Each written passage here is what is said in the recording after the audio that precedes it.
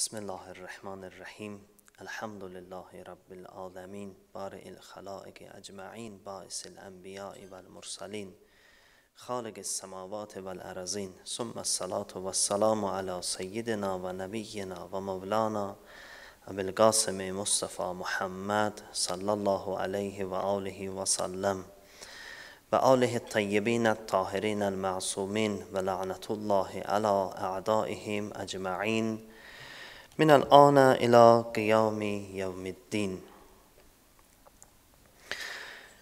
İnsanın içində olan hisslərdən biri biri də gözəllik hissidir.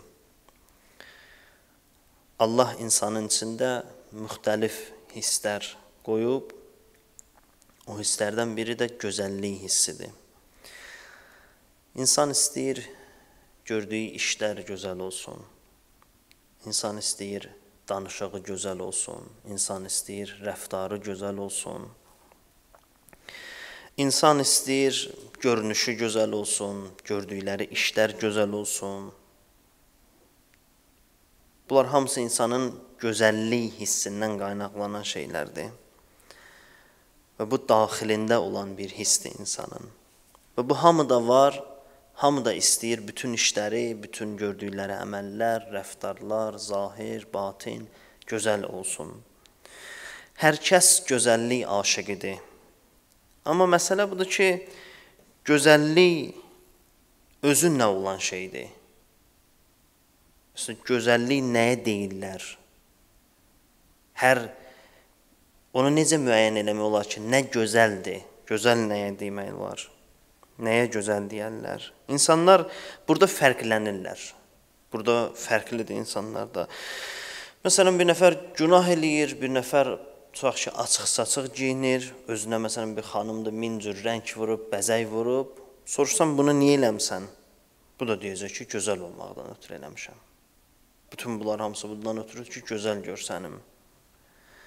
Bir ətirdir, məsələn, biri xoşuna gəlir, biri üçün gözəldir, bir başqası üçün gözəldir, onun xoşuna gəlmir.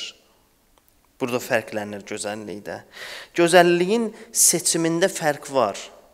Amma özündə şək şübhə yoxdur ki, gözəllik var və hər kəs gözəl olmaq istəyir. Amma məsələ budur ki, hər şeyə gözəllik demirlər. Hər bəzənib düzənməyə gözəl demirlər, gözəllik demirlər. Ola bilər o insan elə başa düşüb ki, açıq-saçıq giyinsəm, bəzənsəm, özümə min cür rəng vursam, gözəl görsənəcəm. Amma gözəlliyin nə olduğunu başa düşməyib. Elə bilib bu cür eləsə gözəl görsənər. Biz gərək bilək ki, həqiqi gözəllik nədir? Həqiqi gözəlliyi yaradan səbəb nədir? Hədisdə var, imam buyurur, gözəl danışmağın hətta təsirləri var. Bir adam bir dənə danışığın gözəl eləsə, İmam buyurur, hətta danışığın gözəl olmasının təsiri var. 5 dənə təsiri var. Bir adam gözəl danışığı malik olsa, o gözəl danışmağın həmin insana 5 dənə təsiri var. Birincisi İmam buyurur, ruzisi çoxalar həmin adamın. Gözəl danışmaq insanın ruzisini çoxaldır. Məsələn, təsəvvür edin bir nəfər ticarətçidir, gözəl danışır, gələn müştəri ilə gözəl müştərini gözəl qarşılayır, gözəl sözlərlə, gözəl danışıqla, gözəl rəftarla. Bir başqası isə məsələn gələn müştəri ilə acıqlı, acı dillə, kobud danışır. Təbiidir ki, o gözəl danışanın ticarəti yaxşı gedəcək. Ondan almaq istəyəcəklər. Ondan alanlar çox olacaqlar. İkincisi imam buyurur, Allah onun gözəl danışanın malına da bərəkət verər. Malı da bərəkətli olur. Üçüncüsü imam buyurur, həmin gözəl danışıq insanın əcəlin təxirə salar. Dördüncüsü buyurur, ailəsinin yanında hörmətli olar, sevimli olar. Gözəl danışmaq, gözəl sözlər demək insanı ailəsinin yanında sevimli eləyər. Pulun yoxdur, bir şey ala bilmirsən, hədiyyə ala bilmirsən ailəvə, ev yoxdur. Heç olmasa əxlaqın olsun. Əxlaq ki, pulla deyil əxlaqlı olmaq üçün ki, pul lazım deyil. Bəziləri o qədər məsələn belə qəribə nə əxlaqı var, nə pulu var. Pulun yoxdur, heç olmasa əxlaqın olsun. Bu lap bədbəxtdir. Pulun yoxdur bir hədiyyə almağa, bir dənə gözəl söz hədiyyə elə. Bir dənə şirin söz hədiyyə elə. Əslində ən gözəl ən gözəl hədiyyə gözəl rəftardır, gözəl danışıqdır. O insan heç vaxt yadından getməz, çıxmaz. Bunu ki eləyə bilərsən, bu ki pulla deyil. Və 5-incisi imam buyurur: "Yədxuləl cənnə." Həmin insan gözəl danışıq insanın aqibətini də xeyirli eləyər, insanı cənnət əhli eləyər. İmam Sadiq əleyhissalam buyurur: "Bir kişi evində bir neçə şeyə ehtiyacı var. Bir neçə şeyə möhtacdır. Biri də buyurur: "Muaşirətin cəmilə." Gözəl rəftara ehtiyacı var. Gözəl münasibət qurmağa ehtiyacı var. Kişi ehtiyacı var evdə xoş əxlaqlı olsun. Belə olmasın ki, kişi səfərə gedəndə deyərlər ki, inşallah qayıtmaz. Huzur olmasın gərək. İnsan gərək sevimli olsun, gözəl əxlaqlı olsun. Gərək dünyada elə yaşayasan, öləndə səni ağlasınlar. Gedəndə sənin üçün darıxsınlar. İmam Hüseyn əleyhissalam həyat yoldaşı ilə o qədər mehriban rəftar edib o qədər əxlaqla, yüksək dəyərlərlə İmam İmam Hüseynin yolun gedən, İmam Hüseynin məktəbində özünü şagird kimi görmək istəyən insan görək özünü hər sahədə İmam Hüseyn ağaya oxşatsın. Hüseynçi olmaq istəyən insan ancaq əzadarlıq eləməklə Hüseynçi olmur. Əzadarlıq onun bir hissəsidir. Hüseynçi olmaq istəyən insan İmam Hüseyn ağaya hər tərəfli oxşamalıdır. İmam Hüseyn ağa ailədə xoş əxlaqlı idi mehriban rəftar edirdi ailəsi ilə. Biz Hüseyn deyəndə ancaq Məhərrəmlik yada düşür, Aşura yada düşür, Kərbəla yada düşür. İmam Hüseyni gətirib bəzən Məhərrəm səfər ayı ilə Kərbəla hadisəsində məhdudlaşdırırıq. Halbuki İmam Hüseyn Kərbəlaya qədər 55 il yaşayıb, 55 il ömür ömür yaşayıb. Özü buyurur, inni uhibbu darən fiha rubab. Mən o ev ki, orada rubab yaşayır, o evdən xoşum gəlir. O evi çox istəyirəm. Rubab yaşayan evdən xoşum gəlir. Xanım Rubab evdə olsaydı, İmam Hüseyn ağa xanım Rubabsız süfrəyə əyləşməzdi. Xanımı ilə əyləşərdi. Hüseynçi olmaq istəyən gərək bu şeyləri də həyatında tətbiq eləsin. Kərbəla gözəl idi. Kim deyir bu sözü? Xanım Zeynəb deyir. Və ma rəaytu illa cəmila deyir. Mən gözəllikdən başqa bir şey görmədim. Yox, gözəllik nədir? Kərbəlanın harası gözəl idi? Niyə Kərbəla gözəl idi? Kərbəlanı nə gözəl eləmişdi? Bir neçə cəhətdən Kərbəla gözəl idi. Biri budur ki, Kərbəlada rəftarlar gözəl idi. Səmimi idi, sadiqanə idi, vəfada, vəfalı idi. Müslim ibn Osəcə bir qoca yaş, bir qoca kişi idi. Müslüm can verirdi. Həbib ibn Məzahir başının üstündədir. Müslüm bir vəsiyyətim var, bir şey istəyirsən məndən barmağı ilə işarə eləyir İmam Hüseyn ağaya. Dedi, bir dənə vəsiyyətim var. O da budur ki, məbadə Hüseyni tək qoyasız ha. Hüseyn tək qalmasın. Budur Kərbəlanı gözəl eləyən. Kərbəla gözəldir, çünki vəfalıdırlar. Həmin bu rəftarlar Kərbəlanı gözəl eləyib. Bu vəfadarlıq, bu sədaqət, bu səmimiyyət Bunlar Kərbəlanı gözəl eləyib. Əbəlfəz ağa qardaşlarına deyir, qardaşların yığıb deyir, məbada biz sağ qalaq Hüseyn ölsün. Olmasın ha belə şey. Biz Hüseyndən qabaq getməliyik. Dördü də İmam Hüseyn ağadan qabaq şəhid olurlar, şəhadətə yetişirlər. Budur Kərbəlanı gözəl eləyən. Aşura günü imam şəhidlərin başının üstünə gəlirdi. Bütün şəhidlərin başının üstünə gəlib Amma iki dənə şəhidin üzünə qoyub üzünü imam.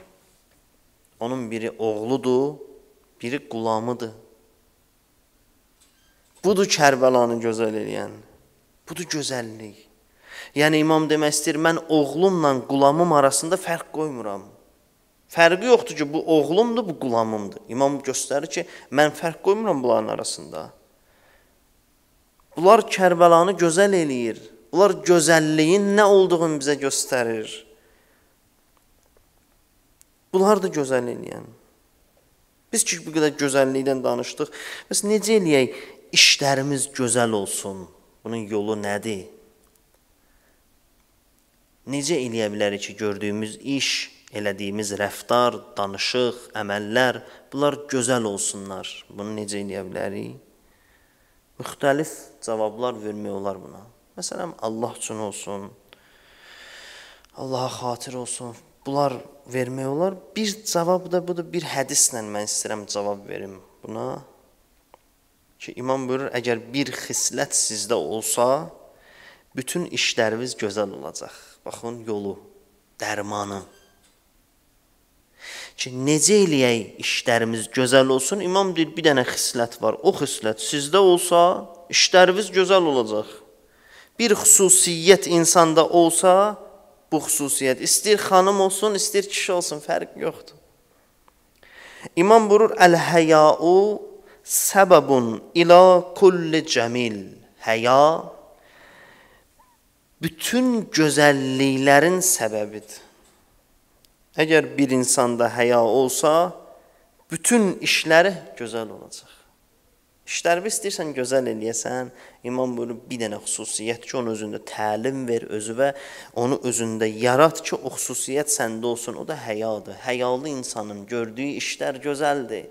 Həyalı insanın danışığı gözəldir, rəftarı gözəldir, baxışığı gözəldir, əxlaqı gözəldir. Çünki həyası var. Bir dənə hədisdir, mən onun axırını deyirəm sizə. Ki hədisdə var Əli əleyhissalam bir gün gəlmişdi evə. Bu əvvəli var təbii ki bu hədisin, mən axırını deyirəm. Evə xanım Zəhra dedi ki, Əlican 2 gündür ki, evdə uşaqlar acdılar. Yeməyə heç nələri yoxdur. İmam buyurdu ki, "Bəs mənə niyə deməmisən? Niyə mən bilməmişəm?" Xanım buyurdu ki, "Mən Allahdan həya eləyirəm." Səndən bir şey istəyim ki, bir halda ki, bilirəm onu verməyə gücün çatmır. Bilirəm ki, onu eləməyə imkanın yoxdur. Allahdan utanıram səndən elə bir şey istəməyə. Mən bilirəm ki, sənin yoxundur Əlican. Əgər bunu bilirəmsə ki, sənin yoxundur, niyə istəyim səni xəcalət eləyim? Niyə istəyib səndən istəyib səni çətinliyə salım? Allahdan həya edirəm səni çətinliyə salmaqdan. Onun həya gör ailədə olsa nə qədər gözəl olar. Xanım əgər rəftarlarında həya ilə eləsə, gör nə qədər gözəl olar. Kişi əgər rəftarlarında həya xisləti olsa, gör kişinin rəftarları nə qədər gözəl olar. Həya kontrol eləyir insanın əməllərini.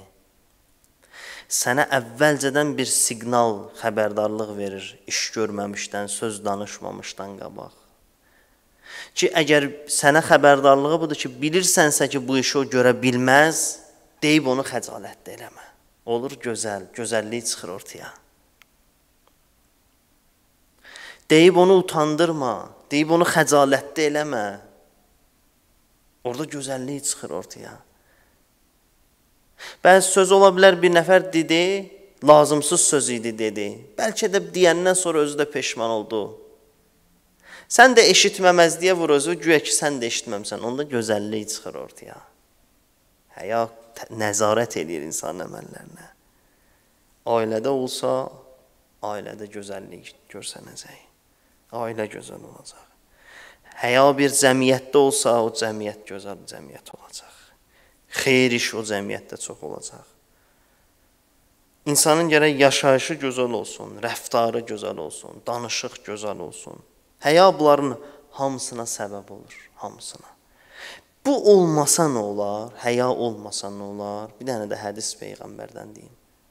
Peyğəmbər buyurur: Birdən bir nəfər sizdən soruşsa ki, 124 min peyğəmbər gəliblər, yer üzünə nə danışıblar? mən sizin üçün 124 min peyğəmbərin hamısının danışığını cəm eləyirəm bir yerə, bir dənə cümlə ilə sizə deyirəm ki, 124 min peyğəmbərin sözü nə olub? O da budur. Peyğəmbər buyurur, bunu budur sözlərinin cəm, məğzi. Bir insan ki, həyası yoxdur, hər nə desən ondan gözləmək olar. Bir adam ki, həyası yoxdur, o hər nə söz desən danışar. Bir adamın ki, həyası yoxdur, hər nə əməl desən eləyər. Həyası ki, yoxdur. Onu daxildən saxlayacaq bir qüvvə yoxdur. Həyası olmayanın dini də yoxdur. Amma bir dənə məsələyə görə diqqət eləyək ki, biz bəzən səhv salırıq. Həya o vaxt qiymətlidir ki, o vaxt gözəl olur ki, insan Allahdan həya eləsin bəndədən, başqalarından həya eləmək bu gözəllik çıxartmır ortaya. Bir nəfər mümkündür, məsələn, utancaq adamdır. Biz deyirik həyalı adamdır. Həya o vaxt gözəl olur ki, insan Allahdan utansın. Allahdan utanmayıb insanlardan utananda o həya gözəllik yaratmır. O həya gözəlliyə səbəb olmur. O həya gözəldir ki, insan Allahdan həya eləsin, Allahdan utansın. Onda həya olur bütün gözəlliklərin səbəbi, bütün gözəlliklərin mənbəyi olur. Allahdan həya eləyən insanın danışığı da, rəftarı da, baxışı da, əməlləri də hamısı gözəl şəkildə olur. İnsan artıq bütün əməllərini Allah üçün edir. Allahın baxdığına görə utanır. Allah baxdığına görə həya eləyir. Bu səbəbdir ki, insan bütün əməllərini gözəlləşdirə bilər ki, Allah bizi əməllərimiz gözəl olanlardan, həyamız çox olan bəndələrindən qərar versin inşallah. İlahi Pərverdigara, sənə ant veririk, izzəti əzəmət və xatir. İlahi sənə ant veririk Peyğəmbərvün hörmətinə. İmam Zaman ağamızın zuhurunu təcil elə, ilahi pərverdigara iltiması dua istəyənlər var, onların hacətlərini rəva elə, ilahi xəstələr var, məxsusən nəzərdə olan xəstələrimizə şəfa kəramət elə, dünya və axirət bizləri Qur'an və əhl-i beytdən ayrı salma, ilahi pərverdigara bizləri elm və əməl əhlindən qərar ver, ilahi pərverdigara haqqı batildən ayırmağa bizlərə furqan əta elə, İlahi Pərverdigara bizim axır aqibətimizi xeyirli qərar ver. İlahi günahlarımızın üstündən qələmi əff çək. İlahi vətənimizi, millətimizi yerin göyün bəlasından hifz elə. İlahi şəhidlərimizi məxsusən bu son günlərdə bu ki şəhid veririk. Allah bütün şəhidlərimizi Kərbəla şəhidləri ilə məhşur elə. Allah əskərlərimizi, zabitlərimizi qalib elə, müzəffər elə. Allah torpaqlarımızı işğal altında olan torpaqlar, məxsusən Qarabağımızı işğal altından azad elə. İlahi Pərverdigara yadımızdan çıxan duaları bizim barəmizdə qəbul elə. Sıxıntıda olan möminlərimizin işlərinə, İmam Musa Kazım hörmətinə fərəc cinayət elə, özlərinə və ailələrinə səbr əta elə. İlahi İmam Zaman ağamızın zuhurun bizim zamanımızda qərar ver və İmam Zaman ağanın zuhurun təcil elə. والسلام عليكم ورحمة الله.